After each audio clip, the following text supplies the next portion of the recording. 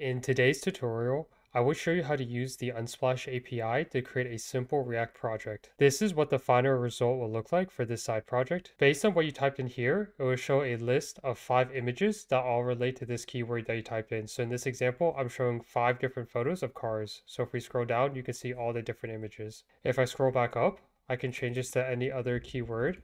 And once I've typed that in, just hit submit and now I can see five different images of food. I purposely kept this project as simple as possible to show you the basics of how to use the Unsplash API to get started with your own side project. There are two requirements for this tutorial. One is that you understand how to use the Unsplash API. If you have never used it before, I have another video on my channel that shows you the step-by-step -step process of how to use the Unsplash API. And the second requirement is that you have a basic understanding of React. Now I will switch over to the code to explain how this project was built. Also, I will leave a link in the description and in the comments with this exact code on my GitHub profile. Now I'll go through the code and explain what each line is doing. On line 1, I'm importing the useState React hook.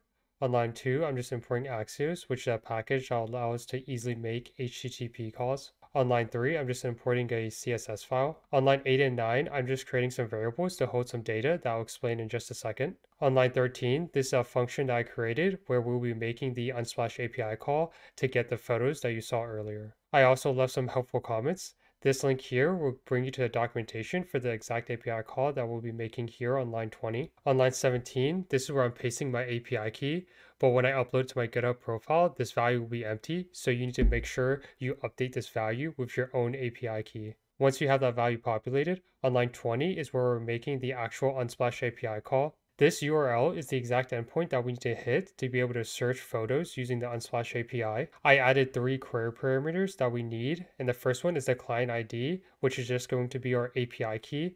The second query parameter is just the search query or what we're searching for using the Unsplash API. And the last query parameter is the per page. And this is going to specify how many items that we want to get back from the Unsplash API. If we go to the link that I have commented here, it will explain more about this specific API call. Here, you can see for our query, we're just passing in the search term.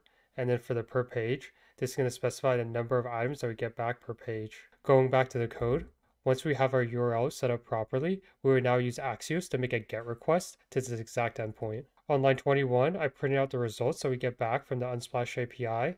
If I switch over to my project, we can see the results here. And for each image, you get back all this different type of data.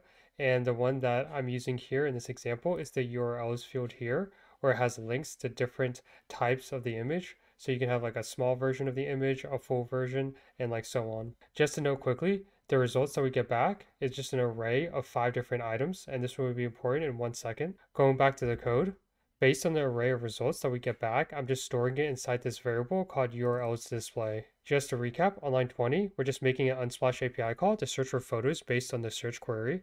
And then on line 23, we're just storing the array of results into the URLs display variable. Scrolling down, this is all the UI logic to display the actual image. On line 37, this is just an input box where the user would type in this search query. So in the previous example, I just typed in car or food, and then I saw all the images related to that specific search query. Looking back on line 37, I just have the on change handler, and each time we update the input box, I'm just going to update the variable that I called search query uh, with the value that the user has typed in. On line 41, this is just a simple button with an on-click handler that will just call the get unsplash photos functions from above. On line 47, I'm just going to be iterating through the URLs to display array which has the five images from the Unsplash API call. And based on the URLs that we get back, I'll just display the image here. Going back to the project, if we look at the console, my URLs display array has each of these items that you see here. And for each item, I'm just displaying the value that you see here. If you wanted to show a full version of this file instead of a small version,